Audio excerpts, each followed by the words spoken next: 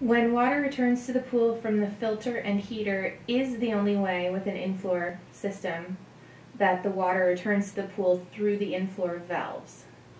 if that's your setup. I mean, a lot of in-floor systems are put in, like you can have a bypass line um, where you have a valve turn that instead of going to the in-floor manifold to go through the, uh, to come up through the floor, is some people will put in a bypass line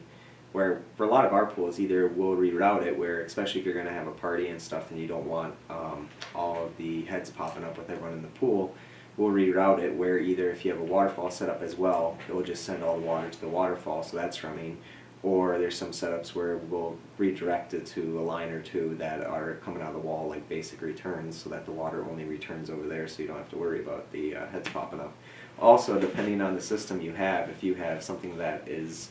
electronically based, um, then you sometimes, or depending on the mechanical setup, you do have some options where you can pause it on a certain zone. So if say you if you have uh, a wall zone or maybe in the deep end of the pool where people aren't going to be stepping, then you can pause the system on that